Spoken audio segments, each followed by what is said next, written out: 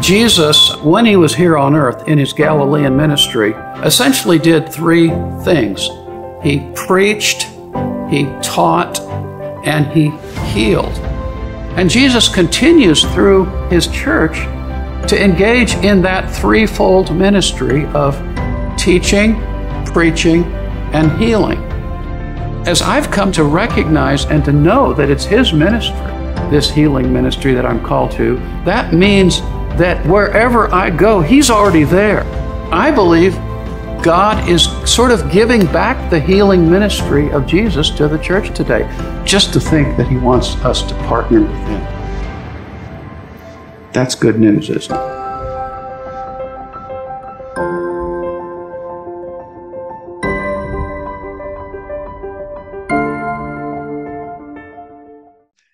Really, uh, some questions that I have for you that I think you you've shared some of these things in different different areas, but I think it would be great for us to just just linger in them tonight. Um, and I guess the first one to really kind of take us in is uh, what distinguishes your understanding of healing ministry? We're we're all coming in with from you know we have all sorts of different backgrounds and teachings and things we've heard We've had a lot of connection within our new room relationships and experiences and, and church worlds. But what distinguishes your understanding of healing ministry from other popular approaches? And why do you believe God's people are ripe for this invitation now more than ever? Um, thanks, Dan. Well, if you look out there on the horizon, most of the healing ministry and the emphasis on healing in the church today is being done by uh, Pentecostals and charismatics. Mm. Uh, and over the last really uh, 125 years, they're the ones that have mm. really made this a priority and a focus, uh, along with an emphasis on the Holy on the Holy Spirit. And it's really interesting in uh, uh, global Pentecostalism today. I quote a statistic at one point in the book where uh, the author of a book of essays on global Pentecostalism, says that uh, in Latin America, in Africa, and Asia today, uh, uh, when they survey Pentecostals and charismatics, they find that about uh, 80 to 90% of them uh, talk about healing as being an essential part of their conversion experience to Christ that they experienced a divine healing in some manner, and that was what, you know, led them to Christ or brought them to Christ. So there's a strong emphasis there on on healing, but uh, sometimes uh, the, the, the charismatics and the Pentecostals they've emphasized healing and and and the Spirit, but they haven't been as biblically grounded sometimes mm. as they've needed to be. They've had a lot of zeal but not as much knowledge sometimes.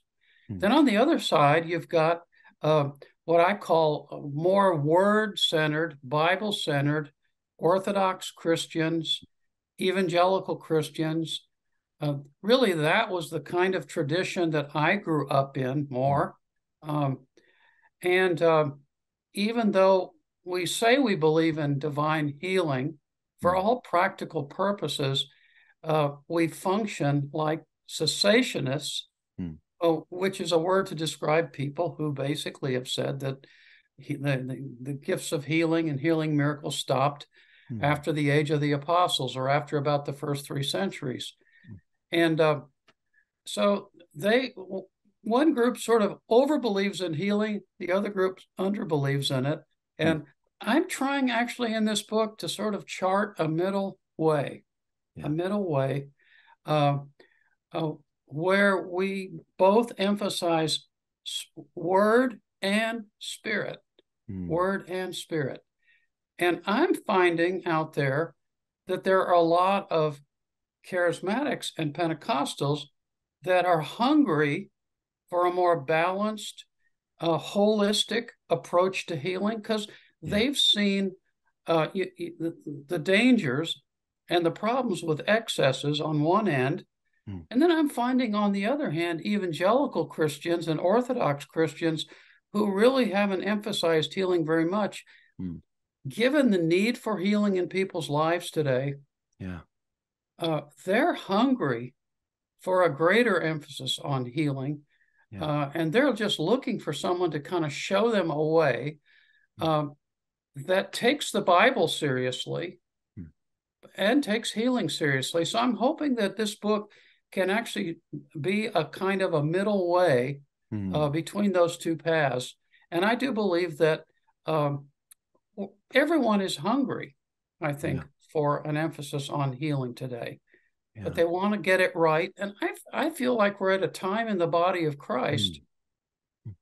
where we're, we're ready for something in the middle, yeah. uh, not on one side, one extreme or the other. So I've written this book intentionally to try to be in the middle, which I think for those of us in the Wesleyan tradition, that's kind of where we often find ourselves on a lot of these issues. Hmm. So that's kind of what I've tried to do here, Dan. That's so good, Steve. You know, the the the thought that I'm having is is you referenced, I think it was in an article, um, eh, something JD has said that the church is really to be the primary healing agency in the world.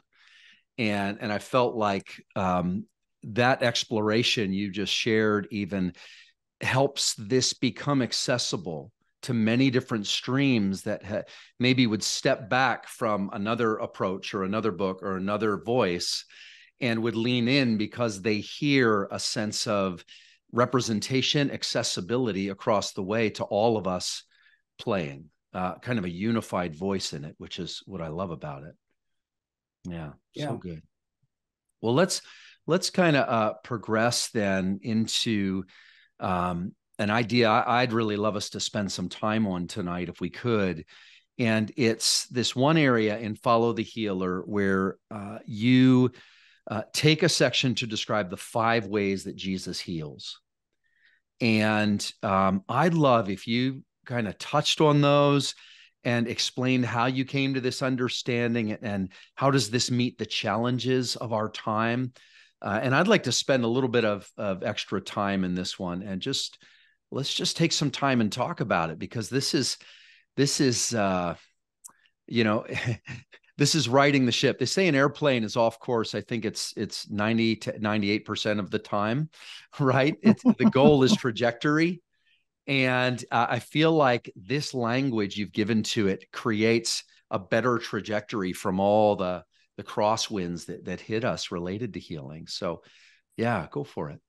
Well, um, I was introduced uh, to what he called the five miracles of healing by by Dr. Frank Stanger back in the Mm. 1970s when I was a, Mm, a student at Asbury Seminary. He was the president of the seminary. And I'm not sure if he was the one that originated this. I think he might have actually got uh, got it from E. Stanley Jones a little bit or borrowed it and, Mm. and, and shaped it a bit. But anyway, um, uh, I found it just so helpful in kind of giving me a framework for thinking Mm. about healing ministry. Most people, when they think about healing ministry, think about the first way that Jesus heals, uh, which is, of course, directly and supernaturally. Uh, we, we think of physical healings. Uh, we think of Jesus' own healing ministry in the Gospels. Mm. Most of those healing uh, miracles kind of reflect that imp- uh, uh, approach to healing.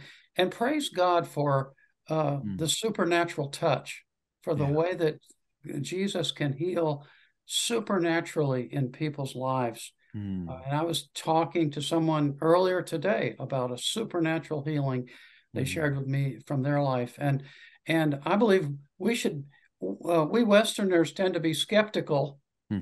about supernatural healing. They sure aren't in Asia, Africa, and Latin America, Hmm. but uh, uh, this is one of the ways Jesus heals, and I believe that. In our local churches, we need to create spaces where we pray for people and we we equip Yeah. people to pray for people to experience supernatural kinds of healing. yeah. But then, uh, secondly, Jesus heals through doctors and medicine. Mm, Um, and uh, there's the miracle of modern medicine that we Mm. are so grateful for and thankful for. And really, throughout the Christian tradition for 2,000 years, uh, Christians have, have been at the forefront of of advocating the work of doctors and medicine.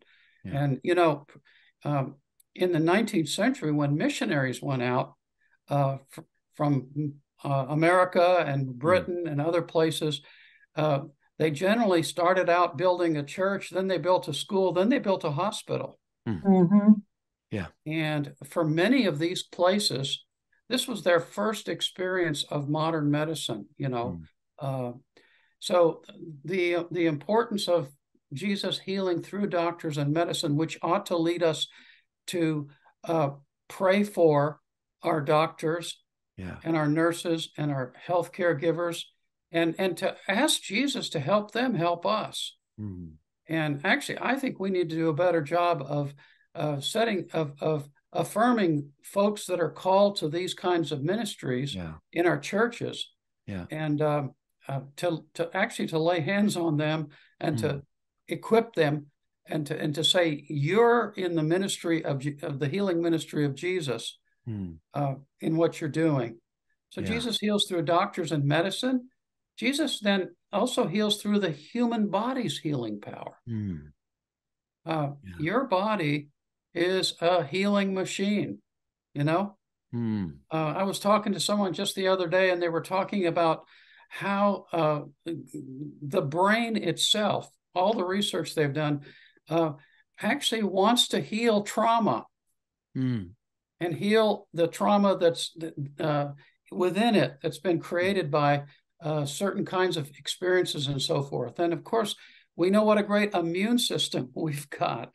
Yeah. Uh, and we know that our blood coagulates when we, we you know there's just this there's this propensity toward healing within the human body mm. and that's a way that jesus who is the the the one through whom all things were created mm. is hmm. the creator of not he's also mm. he's the lord of both creation and new creation mm. mm-hmm.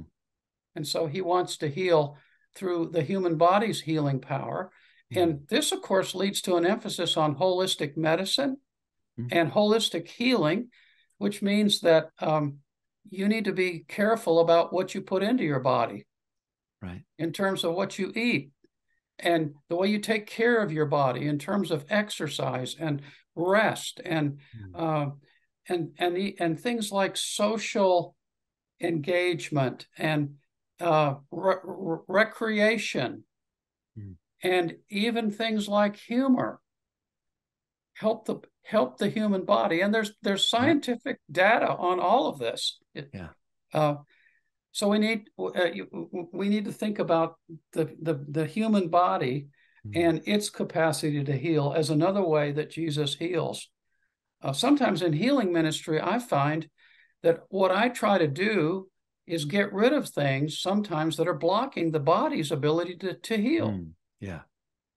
So when I've uh, I've had occasion where people have uh, forgiven somebody that they've held a grudge against, and they had a physical problem maybe some uh, arthritis or some some intestinal issues and whatever mm-hmm. and you know the physical problem after they forgave somebody we didn't even pray for the physical problem but it went away yeah yeah and it's made me think i think the body could do what it, it was designed to do when they got rid of that thing that was blocking and preventing it from being what mm. it was designed to do. So that's the mm-hmm. third way Jesus heals. And then Jesus heals through um, bestowing grace mm. in suffering. Uh, Dr. Stanger called this uh, the miracle of sufficient grace. Mm. You remember Paul's thorn in the flesh in Second Corinthians chapter 12. He talks about how he prayed for that to be taken away. Mm. But the Lord did not see fit to take it away or remove it, but said, mm. uh, My grace is sufficient for you, Paul, mm. and my power is going to be made manifest in your weakness. Yeah. Uh, and so God used this thorn to make Paul weak, as it were, so that he could be strong. And then you remember Paul turns around and says, So I glory actually right. Yeah. I boast in this infirmity. Hmm. I praise God for it. Now, mm-hmm. uh, I've been around folks who have been given incredible grace Hmm. to endure and to persevere in suffering. And I've, as a pastor, I visited parishioners Mm. uh, who, well, when I went in the room where they were, as they suffered with some disease, sometimes cancer, it was like the glory of the Lord Mm. was present there.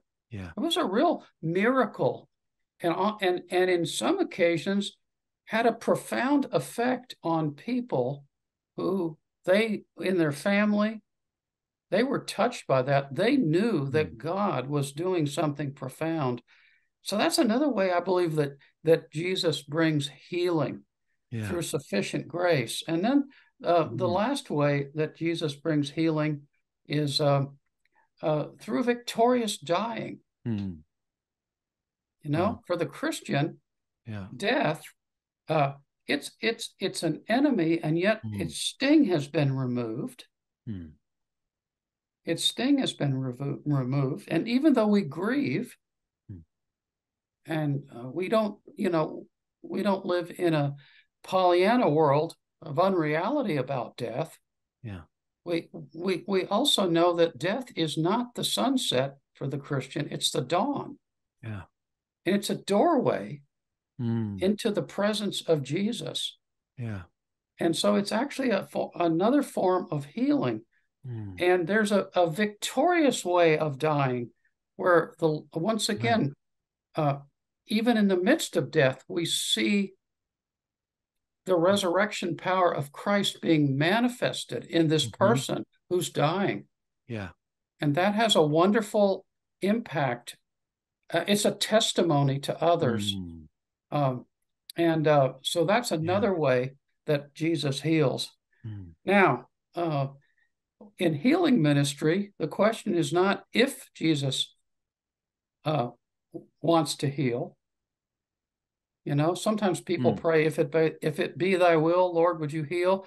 I believe Jesus wants it always wants to heal. The question is, how does Jesus want to heal in this Mm. particular situation, and which, or maybe what combination of these? Because that's another thing. It's not Yeah. just necessarily one of these five, but sometimes it's a combination, isn't it?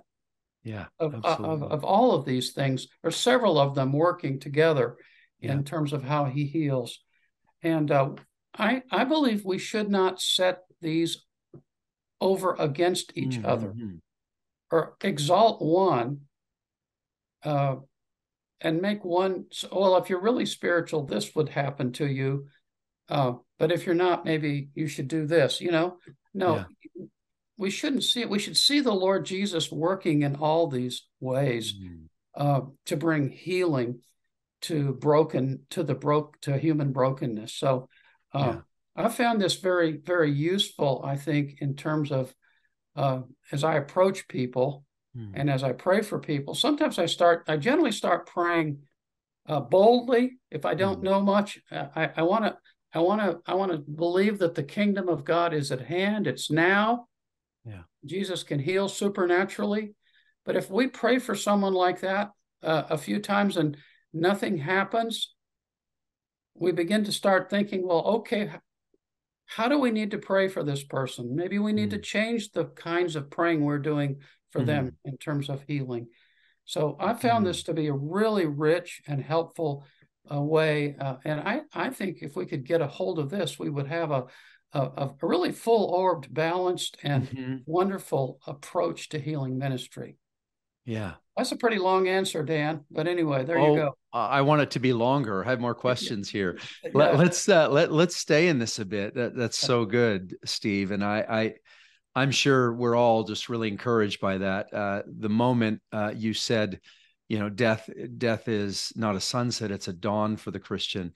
Uh, recently, I've just lost two people um, very close to me from different kinds of situations, and and I am always amazed at the the thread of joy and hope that runs through the, the Christian's vision of of passing into the arms of Jesus and and really being truly alive in his presence. It's it's delightful, you know. Yeah, Paul Paul talks Hmm. about, I think in Second Corinthians, that even each day as our bodies are wasting away, he says our spirits are being renewed day by day. And mm. you, you just literally see that being yeah. worked out in someone's life in front of your eyes. And it's amazing. Yeah. Let's take it toward this this theme you explore, which I'm I'm really fascinated by, and it feels like it could fix. It's got a remedial kind of quality to it that it seems to be something the Lord's doing in many uh, places. This fixation on that first way of healing related to power, and you kind of you recenter us on love and why is that so important? Because as you talk about these five ways of healing, love makes them all make sense sitting at the center. Power can be disorienting in that. And, uh, you know, I'd love to hear you just talk about why are we fixated primarily on the power theme potentially, and, and how can we move forward from that or into another way of seeing it, the power of God?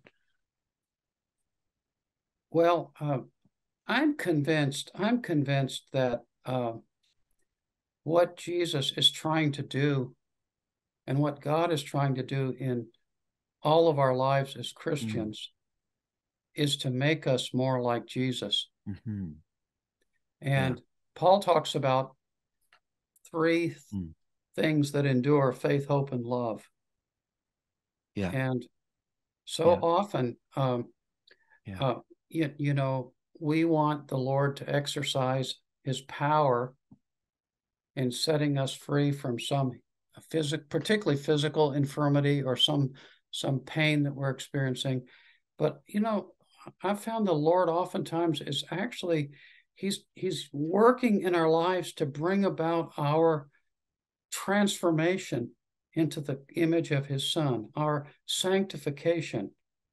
And uh, uh, and and yeah. he's do, he's doing that out of out of love mm. for us and yeah. he's more you know you know he knows what's best for us mm. more than we do mm. now it's i think it's a natural thing for us human beings to kind of want to be delivered we're like like little children you know we hmm. operate like that and um, and then when occasionally when we see a divine healing uh, we think, wow, well, then why can't that happen to me or to everyone? Right. Uh, but uh, uh understanding, you know, that Jesus uh, heals first and fo- foremost out of his love for us. Mm-hmm. And I could talk about how that's spelled out in the Gospels in yeah. different ways. Uh, that's actually really helped me because I've come to trust in his love.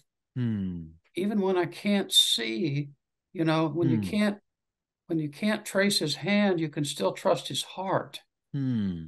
as someone has said, you know. Yeah. And I know that he's uh, hmm. that he's working again to bring about transformation in this person's life, and he loves this person. Hmm. Um, and so when I pray for people, I want to see them. Exp- I want to. I'm thinking to myself what needs to happen that this person might experience God's love for them? Mm. Uh, yeah. Even if even if it doesn't come particularly in the way that they expect it or want it. Yeah. Because I know because you know if they get if they experience God's love, yeah. Uh, it, it, it it's God's love makes everything all right. Yeah. yeah. You know? Yeah. I can live, uh, you know, I can live with whatever comes knowing that I'm mm-hmm. his beloved and and that and that he you know uh, that he delights in me. So anyway, yeah. uh, I think it's so important to get that yeah. right, Dan. Yeah, we have to get that right, don't we? Yeah, yeah. You know, I, would love I'd love you just to. Uh, I didn't uh, send you this ahead of time as a question, um, and not all of these did I, but uh, I just had this stir in my my my heart is if if you imagined so imagine a day in the life of the church that's really following the healer, the body of Christ following the hero. What what does that day look like? What's happening in the church? What's happening in the boardroom or the uh, the home, the house? What like what kind of day in the life could you imagine with this kind of loving, fully scoped vision of healing happening? Um, Does that uh, make sense? The question. Yeah, yeah. Uh, It, it sort of does. Uh, Yeah. I, I, I, obviously, you know, Jesus did three things: he preached, he taught, he healed. And in a way, when you think of what of the church, all three of those Hmm. things are continuing through his body, the church. Yeah. But uh, Yeah. um, it would it would seem to me that Mm. one of the things that would happen if if we took if if we understand that Jesus he uh, wants to heal Mhm. is that we would we would create a context and an expectation Mm. in our congregations that coming to Christ and receiving Him uh, for the forgiveness of sins and entering into a relationship with Him uh, leads to Mm. uh, the, the need for healing in one's life of the areas of brokenness in their life. Hmm. You know, uh, my father, uh, David Seamands, wrote a famous book years ago called Healing for Damaged Emotions. Hmm. Yeah. And it was almost like at that particular point, I think that book came out in 1981 or something Mm. like that. And Mhm. It was like the idea that uh, there could be for the Christian a healing of your emotions. Hmm. That was almost like a, a, a revolutionary idea. Right. I think we should help people to come to, to know that that's just part of the package because Jesus Mm. Jesus wants to heal areas of brokenness in our Yeah. lives. He wants to heal relationships Yeah. between uh, people within the body. He also wants to heal, bring healing and reconciliation to races, hmm and and and you know. Uh, so Mm. if, if if we started out that it would first of all it would it would frame it would give us this overarching understanding that that is something we expect to see and Yeah. then i think dan it would lead to um, uh, specific practices Yeah.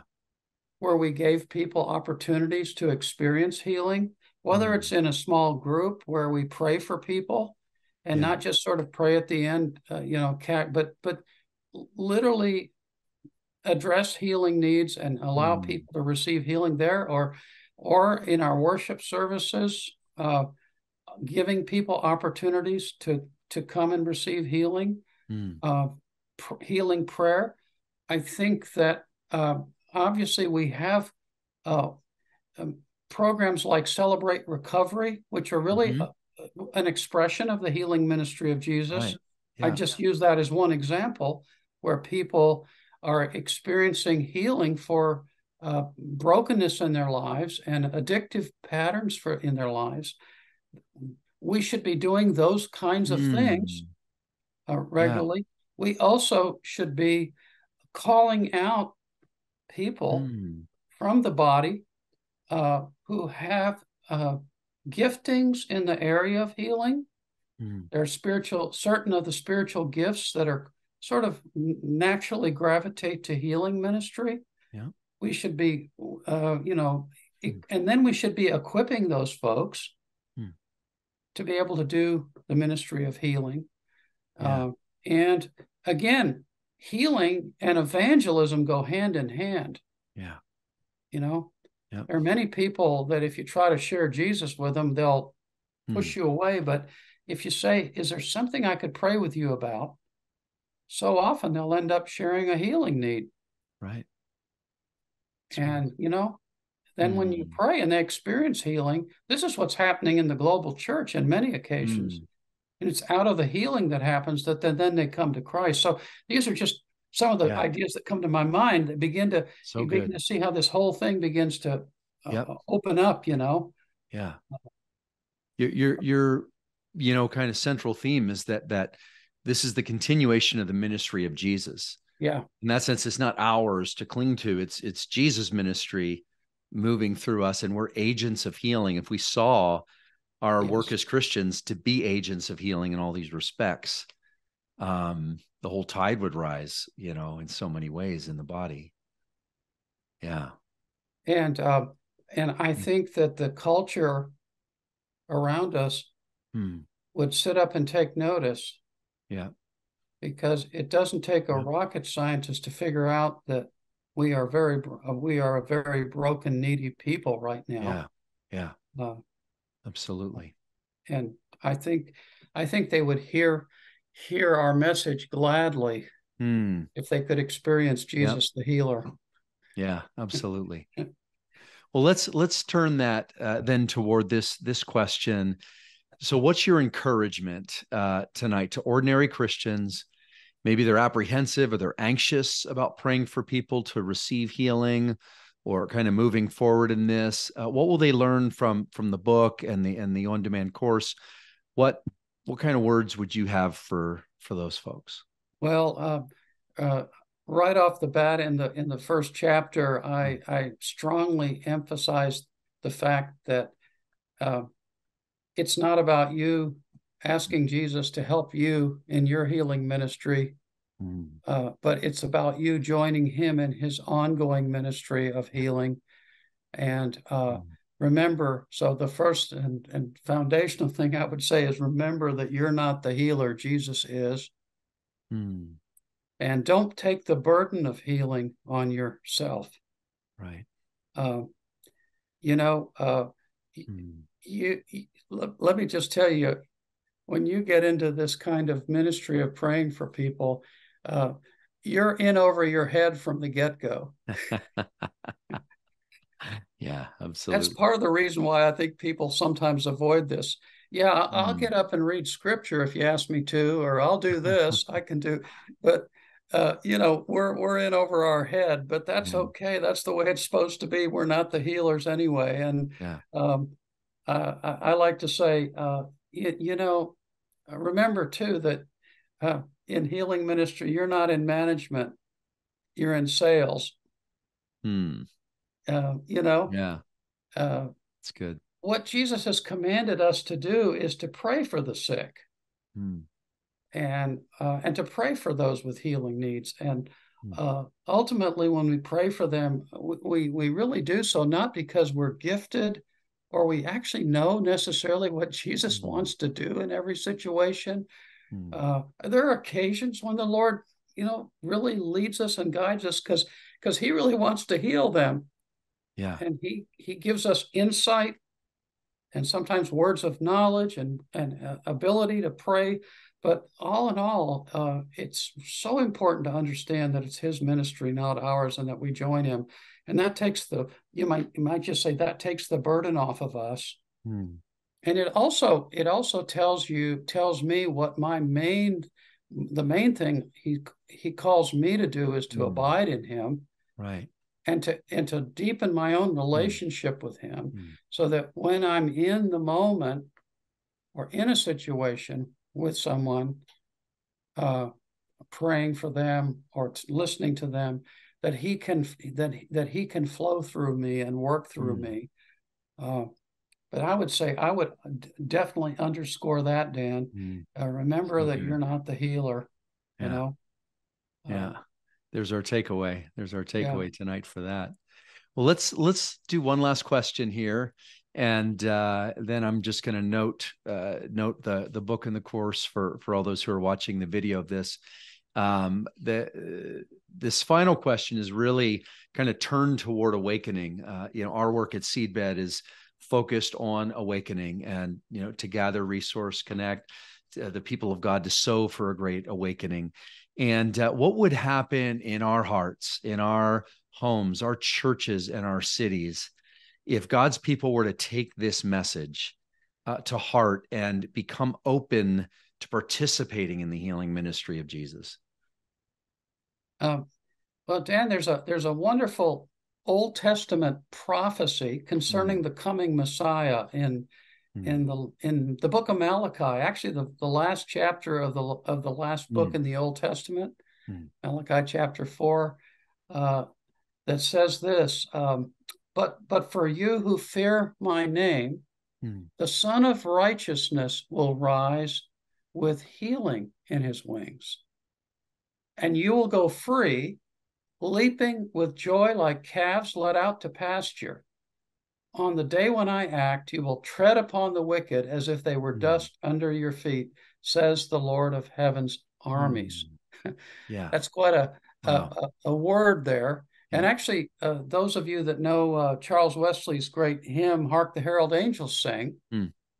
know how he picks that up in one of the verses, you know, Hail the heaven born Prince of Peace, hail the Son of Righteousness, light and life to all he brings, risen with healing in his wings. And that's a, really an allusion to that prophecy in the Mm. book of Malachi. Mm. Well, I believe if this, uh, if the message of follow the healer is taken to heart, that we will come closer to the ultimate fulfillment of that prophecy. Mm. That Jesus, the Messiah, the Son of Righteousness, will surely begin to rise as never before with healing in his wings. Mm. That's what the prophecy says. The Son of Righteousness will rise with healing in his wings. We'll we will see the the fulfillment of that. Mm. That the body of Christ will see the fulfillment of that as never before, as as we move toward the return of the Lord. Mm. And and then as a result, the, the, the prophecy says that uh, two things will come to pass. It says we ourselves and those in our homes and churches and cities, get this now, will go free, leaping with joy like calves let out to pasture. Yeah. You get the picture in your eye, the, Yeah. the calves that have been cooped up all winter Yeah. in the barn. All of a sudden, the springtime comes and we let them out and the, they get out and they kick around and they, you know, the joy that comes when the Lord heals Hmm. is is uh, freedom that comes to people and joy and experiencing who they were designed to be as human beings, you know. Yeah. And then uh, and then it it says finally God's people will tread upon the forces of wickedness and evil as if they were dust under our feet. Mm. You know, uh, we uh, Satan, the thief, comes to steal and to destroy, Yeah. and and and and and to tear down, and you know, and to just well, to just t- keep us from being who God intended, and uh, as as we as people are receiving healing, uh, actually that's one of the ways I guess Mm. that we do spiritual warfare Yeah. that we win the battle against Yeah. evil in the world. Uh, Yeah. on the day when I act, Yeah. it says, You will tread upon the wicked Mm. as if they were dust under your feet. Mm. And I say, all God's people can say amen to that. Amen. Amen. Hallelujah.